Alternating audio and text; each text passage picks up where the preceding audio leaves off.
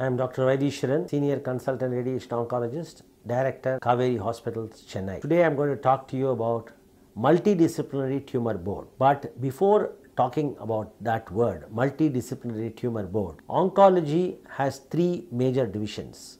One, surgical oncology, two, medical oncology, three, radiation oncology. The integration of all the three specialities joined together to treat cancer patients.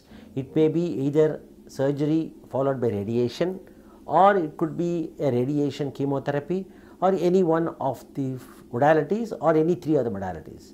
Because the three modalities coming into picture, there is a group of three people joining together to give a combined opinion for a patient. That is why we call it multidisciplinary tumor board. Sometimes a pathologist and a radiologist join the organization so as to give the best possible care for the patient. Why should you have a tumor board?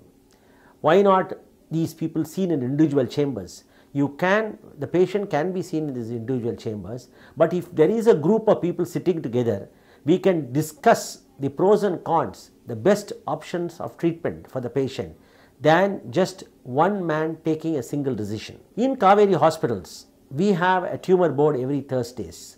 What we do is patients seen in the OP which are difficult patients or controversial topics where you require a combination of treatments to be done for a patient, we ask the doctors to present these cases in detail in the tumor board.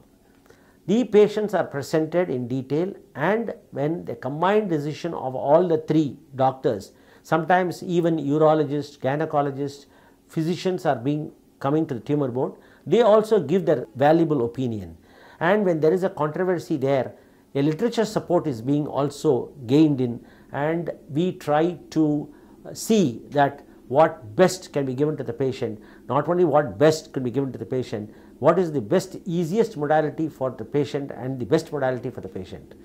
So, this multidisciplinary tumor board forms a key success for patient care and also better quality of patient care. This is a very important part and every hospital should have a tumor board. In Kauvery also the same thing applies. We have a tumor board and we are able to give the best quality care to the patient. Thank you.